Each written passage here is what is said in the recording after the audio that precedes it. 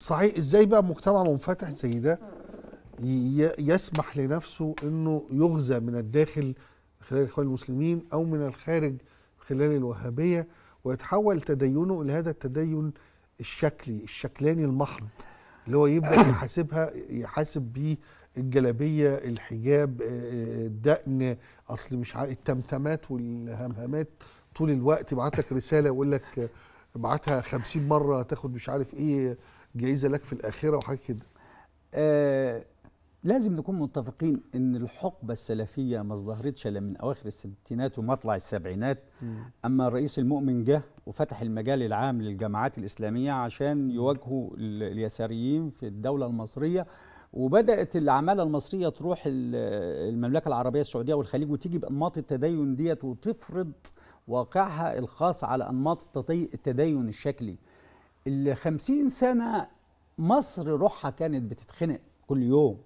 مصر تاريخها كله الممتد كان بيختزل في شكل من أشكال التدين التدين الشكلي الطقوسي اللي حتى بيفقد معنى الطقس معناه لأني أنا أما باجي أنظر للصلاة بلاقي إن الصلاة مش مفروض تكون بتعبر أنت كيف تسلك سلوك الإيمان؟ الصلاة تعلمك حقيقة الإيمان لأن العلاقة بين الإنسان وربنا العلاقة الرئيسية في مسألة الصلاة ينبغي أن تمتد في الاجتماع على أن الصلاة تنهى عن الفحشاء والمنكر والبغي. هو الأثر يعني العلاقة الأثر الاجتماعي الأفقية الأثر الاجتماعي للصلاة وكذلك الأثر الاجتماعي للزكاة في التكافل والأثر الاجتماعي للزكاة لل- لل- لل- للصوم في تربية الإنسان. حضرتك بتقول يعني تبقى في صلاة والناس على بيبان الجوامع بتصلي لكن ما يبقاش في آم، آه، ينهى الصلاة دي عن الفحشاء والوفاء يعني يعني أنا ملهاش أثر يعني أنا اجتماعي. ح- أنا هحكي آه. ح- هحكي لحضرتك حاجة بسيطة أنا كنت رحت الجمرك في مصر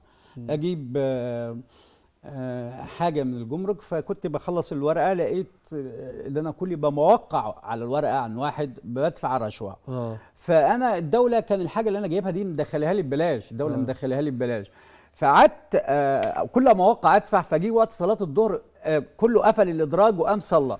فأنا قعدت فقلت والله العظيم حاجة جميلة جدا. الناس بتضحك على ربنا. آه. الناس بتنصب على ربنا.